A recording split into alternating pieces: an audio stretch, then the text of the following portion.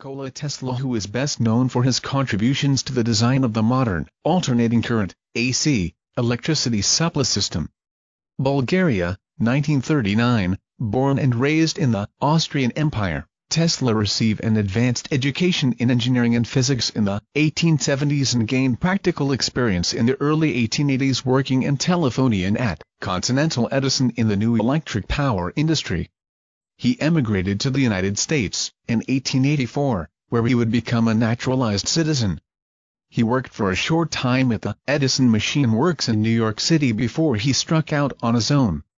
His alternating current, AC, induction motor and related polyphase AC patents, licensed by Westinghouse Electric in 1888, earned him a considerable amount of money and became the cornerstone of the polyphase system which that company would eventually market. Electrical discharge, tubes, and early X-ray imaging.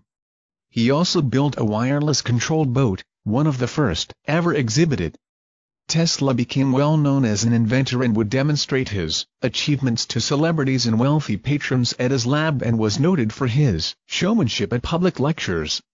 Throughout the 1890s, Tesla pursued his ideas for wireless, lighting and worldwide wireless electric power distribution. And his high-voltage, high-frequency power experiments in New York and Colorado Springs. In 1893, he made pronouncements on the possibility of wireless communication with his devices. Tesla tried to put these ideas to practical use in his unfinished Wardenclyffe Tower project an intercontinental wireless communication and power transmitter